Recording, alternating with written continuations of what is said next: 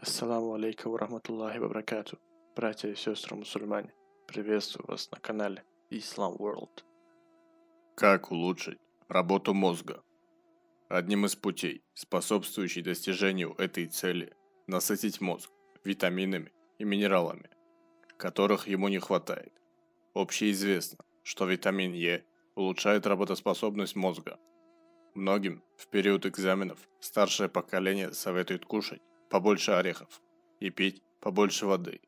И правильно делают, ведь именно в орехах содержится витамин Е, который, как выяснили ученые, улучшает память.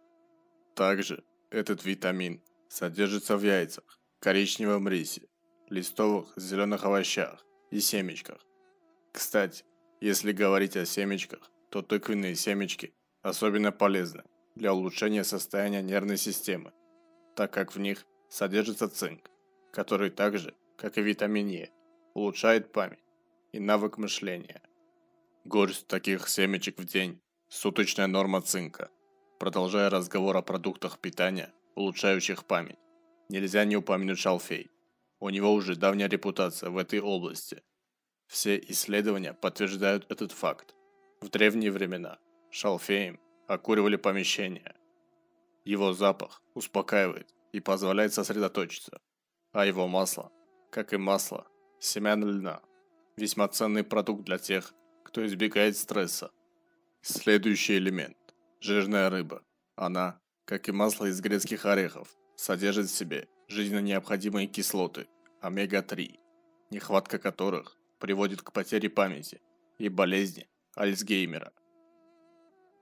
Нужно помнить и о содержании йода в жирных видах рыб который улучшает ясность ума и поддерживает организм в целом. Цельнозерновые.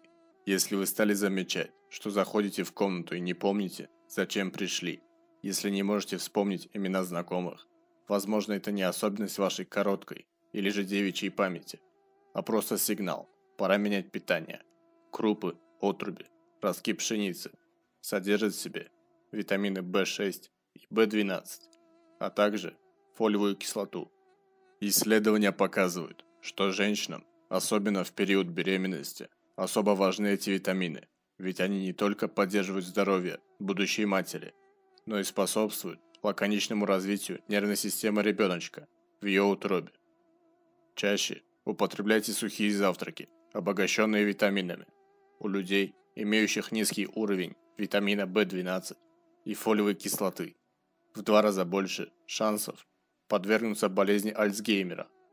Они предотвращают скапливание в организме гомоцистеина, уровень которого в разы выше у страдающих болезнью Альцгеймера. Сухие завтраки – богатый источник не только витаминов, но и сложных углеводов, которые дают заряд энергии на весь день и позволяют сосредоточиться в течение рабочего времени. Однако в современных сухих завтраках, которые продаются сегодня – в большинстве магазинов содержится много соли и сахара. Поэтому внимательно читайте информацию об этом на упаковках. Черника. Ее свойства давно известны. Так, например, в одном из журналов по неврологии было опубликовано исследование, проведенное университетом, вследствие которого было обнаружено, что экстракт черники восстанавливает способность вспомнить те или иные события пациентам с временной потерей памяти Ко всему этому черника известна, как ягода, улучшающая зрение. Черная смородина хороша не только в период простуды, потому что в ней высокое содержание витамина С. Этот витамин улучшает живость ума. Завершая разговор о пище для ума, хотелось бы пару слов сказать о таких овощах, как брокколи и помидоры. В последних содержится ликопин, мощнейший антиоксидант. Существует множество научных подтверждений, свидетельствующих о том, что именно этот элемент ведет борьбу в нашем организме со свободными радикалами, которые повреждают клетки, приводят к раковым заболеваниям и вследствие гибели клеток мозга к слабоумию. Ну а брокколи содержит витамин К, который стимулирует познавательную функцию и улучшает работу мозга в целом. Хвала Аллаху, который дает нам пропитание изо дня в день но особо среди причин, ухудшающих память, богословы подчеркивают совершение грехов. Имам Аш-Шафи славился не только своей набожностью и знаниями, но и совершенной памятью.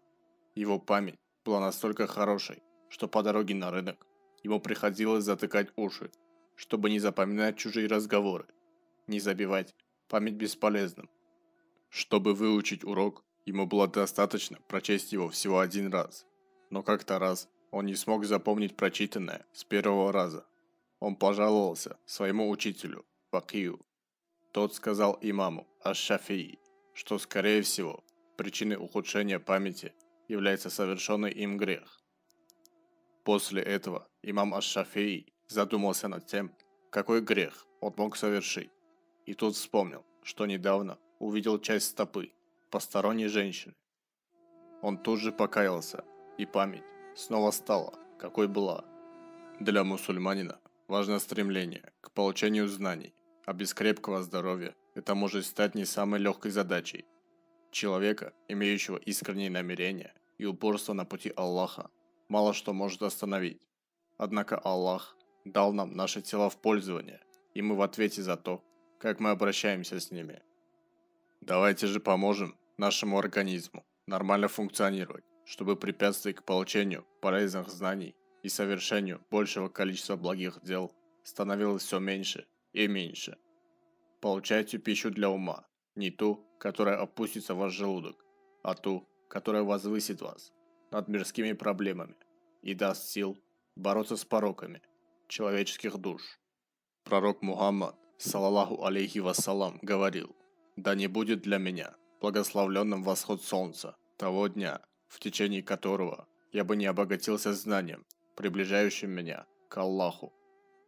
Этот хадис должен стать девизом каждого человека. Подписывайтесь на канал и оставляйте свои комментарии. Они важны для нас. Мир вам и вашему дому. Ассаламу алейкум.